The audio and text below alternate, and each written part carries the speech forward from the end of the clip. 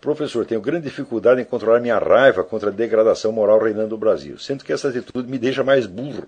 Mas, por outro lado, se não sinto raiva e não ataco, fisicamente faz tempo, ou contra-ataco as pessoas do mal, parece que perco a força, fico ingênuo e manipulável. É possível achar um meio termo? Bom, Alexandre, não se trata propriamente de um, de um meio, meio termo. Né? É, Trata-se de você aumentar a eficácia desse ataque, elevando o nível dele. De você trocar a mera troca de porradas pelo bombardeio aéreo. Ou seja, você não entre jamais na briga só para disputar. Você tem que entrar para vencer. Se você não conseguir convencer o sujeito, você tem que pelo menos humilhá-lo. Muitas, para muitas pessoas, a humilhação é a única maneira de despertar consciência. Quando o sujeito é, dizer, burro, orgulhoso, tacanho, você tem a obrigação de humilhá-lo para mostrar que ele não é tudo isso que ele pensa, tá certo? E garanto para vocês, tem muita pessoa que, inclusive alunos, que vieram botando banca para cima de mim, eu os humilhei, eles na hora ficaram loucos da vida comigo, e passado alguns anos, eles vieram me agradecer por ter feito isso. E vai acontecer a mesma coisa com você. Agora, você tem que estar seguro de que você não está fazendo isso por motivo egoísta. De que você não está realmente com ódio, com raiva daquela pessoa. Que você está fazendo isso para ajudá-lo, para tornar consciente. E se não conseguir ajudar ele, pelo menos você vai ajudar quem está ouvindo. Porque se você vai bater no sujeito com raiva, você bate e ao mesmo tempo sente culpa. Né?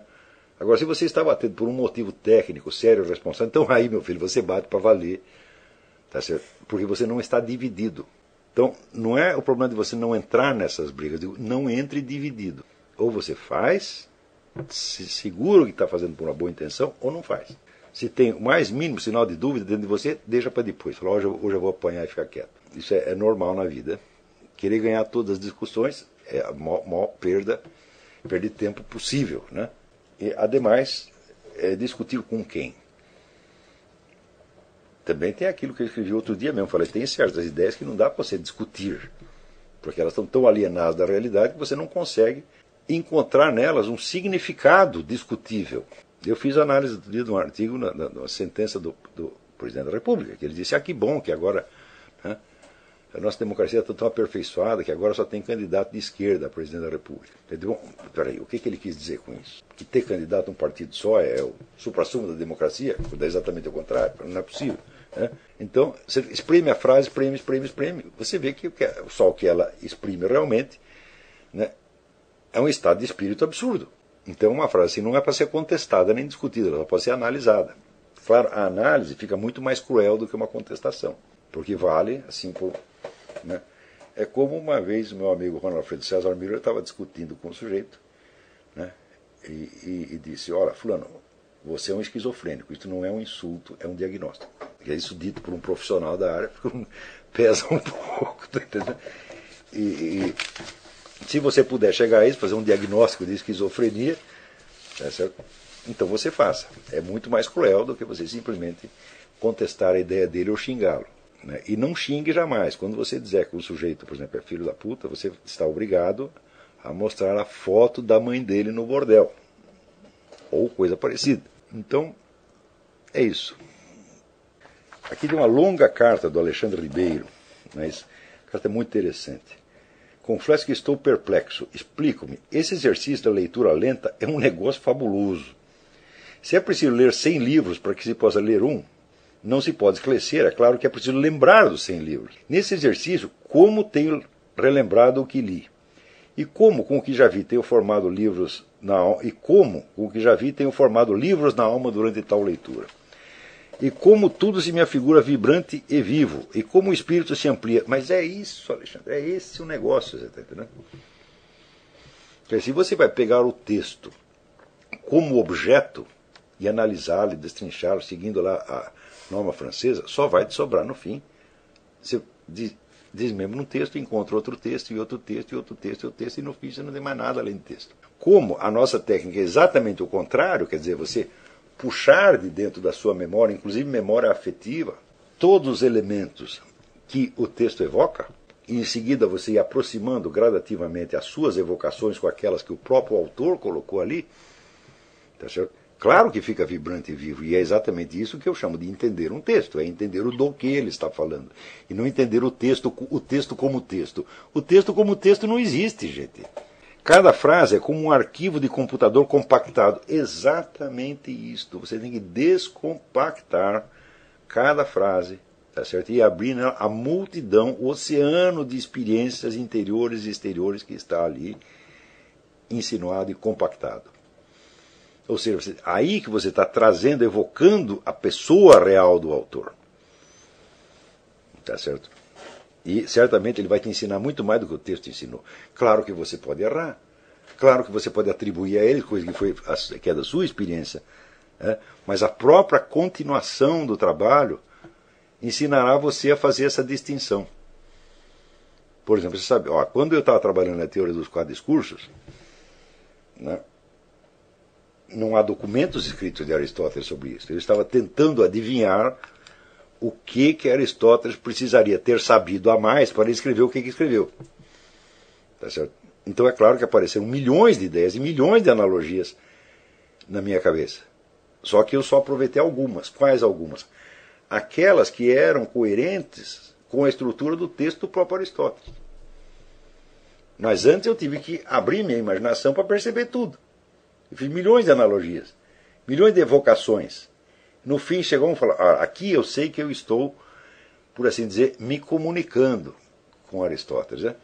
Mais do que eu faria numa sessão espírita. Tá então eu estou falando realmente com a pessoa é, de Aristóteles. E aí você desenvolve também né, o verdadeiro amor àquela pessoa, que vai, vamos dizer, para além da, da, mera admiração. Admiração, afinal de contas, é admirar, é olhar de fora. Tá certo? Então, então você desenvolve o amor por aqueles autores, porque você, eles se tornaram presença na sua vida. Sem isso, você não vai entendê-los. O arquivo de computador compactado e descompactando-as, também a consciência cresce. Já na primeira frase da introdução à La Présence Totale, Louis Lavelle, ce petit livre qu'on va lire exprime un acte de confiance dans la pensée et dans la vie. Esse livrinho que se vai ler exprime um ato de confiança no pensamento e na vida. Sim, sem essa confiança você não vai muito longe. Topamos com um problema seríssimo, uma contradição que, conforme aprendo com o senhor, não está na frase, mas na realidade que ela designa. O homem moderno descrê da realidade do mundo, de modo que seria inútil pensar, mas aposta tudo no pensamento, é um raciocinador maluco. Eu digo, mas é exatamente o que se vê. Você vê que pessoas que não acreditam em realidade objetiva e, portanto, não, não acreditam em verdades que você possa dizer a respeito da realidade, são as que mais se esforçam para provar para você que elas estão com razão. Eu digo, mas meu filho, se não há verdades absolutas, por que você está insistindo nessa sua verdade? Por que eu não posso ficar com a minha? Né? Ou seja, não há verdades absolutas, mas você é absoluto. Né? Então, é exatamente isso que acontece hoje, ao passo que, diz ele, no entanto, confiança no pensamento não é isso, mas se acreditar que o pensamento pode tocar, ainda que de leve a realidade, a vida que existe. Eu digo exatamente isso. Só que para isso você precisa ter justamente esta abertura. Tá certo? E se você se apega às suas opiniões, você perde a abertura. Então deixa as opiniões passarem. Hoje você pensa uma coisa, aqui cinco minutos você pensa outra, pensa outra, pensa outra, pensa outra. Ué, vai guardando aquilo na memória. No fim vai ver que com as suas várias opiniões, você compõe um desenho contraditório dentro do qual o objeto aparece. E aí você sabe que está falando da realidade. Ora, a confiança do pensamento e a confiança na vida parecem ser a mesma confiança, exatamente.